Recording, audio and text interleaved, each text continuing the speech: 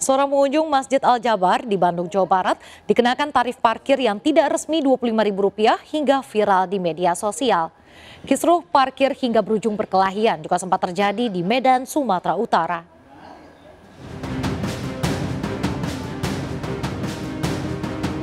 Tak hanya objek wisata, masa libur lebaran digunakan warga untuk mendatangi Masjid Al-Jabar di Bandung, Jawa Barat. Rumah ibadah yang mampu menampung ribuan jamaah ini menjadi daya tarik tersendiri bagi setiap pengunjungnya. Namun tarif parkir yang tidak sesuai dikeluhkan netizen hingga viral. Melalui media sosialnya, seorang pengunjung mengunggah mahalnya tarif parkir di Masjid Al-Jabar Kota Bandung, Jawa Barat hingga Rp10.000. Tak hanya itu, korban juga mengeluhkan tidak adanya tanggung jawab dari pengelola parkir saat kehilangan barang.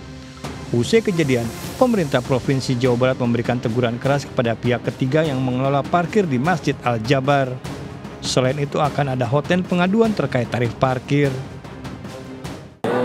Kalau petugas ini sudah dilakukan pembinaan dari uh, unsur uh, pimpinan kecamatan, begitu dari pengelola, bahkan dari polsek dan danramil juga sudah ada pembinaan Kisruh parkir juga pernah terjadi di Jalan Brigjen Katamso, Kota Medan, Sumatera Utara.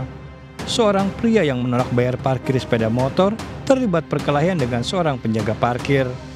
Beberapa warga sekitar dan pengendara yang melintas berusaha melerai. Pas penampakan saya, tukang parkir ini posisinya dipukul.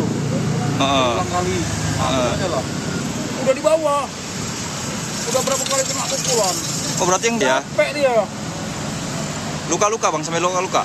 Berdarah bang, kepalanya biji mata Warga tersebut menolak membayar parkir Rp2.000 setelah pemerintah kota Medan menggratiskan biaya parkir yang tidak menerapkan sistem parkir elektronik. Usai kejadian, pemerintah kota Medan akan melakukan sosialisasi secara masif dan membentuk tim patroli gabungan untuk menindak juru parkir yang masih membandel. Uh, semuanya kebijakan yang kita ambil ini perlu sosialisasi yang lebih masif lagi bukan kita diamin enggak tapi kami dengan Pak tadi saya ulangi lagi timnya sudah ada dengan kepolisian, kejaksaan dan TNI mana jukir-jukir yang hari ini masih aktif meminta ini nanti akan ada pasal-pasalnya. Juru parkir yang tetap mengutip secara konvensional akan dilakukan penindakan sesuai dengan aturan yang berlaku. Dari Medan dan Bandung melaporkan.